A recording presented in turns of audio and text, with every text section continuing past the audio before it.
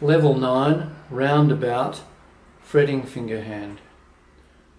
Ready, and. Oh, oh, oh, oh, three, one, one, one, one, oh, two, two, two, two, oh, one, one, one, one, three, oh, oh, oh, oh, three, one, one, one, one,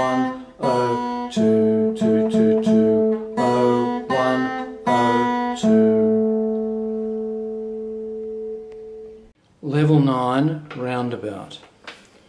Ready, and.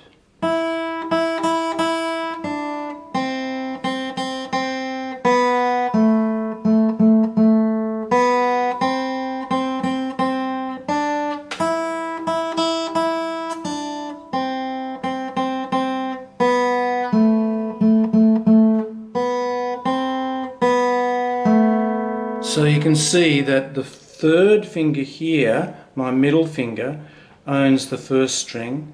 My pointer, my index finger, owns the second string. And my thumb is the one that plays all the notes on the third string.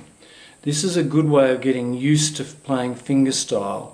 Later you can vary it, but to start with it's a good idea to just play this string with this finger, this string with this finger, and this string with your thumb that you're used to using. The, the way the fingers work, the middle finger and the index finger sort of pull out and up towards your shoulder. And your thumb just goes downwards as normal. So roundabout, ready, and.